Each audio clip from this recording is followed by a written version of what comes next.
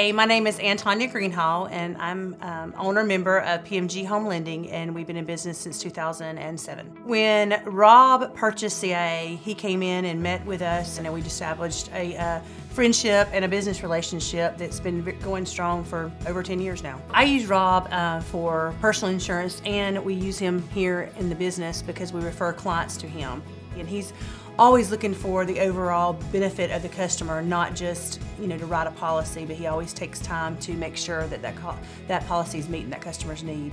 CIA and PMG have a awesome relationship. Uh, we work together very well. We here, our motto is delivering mortgages to secure your future, and I think it mirrors uh, Rob's motto is delivering protection to guarantee your future.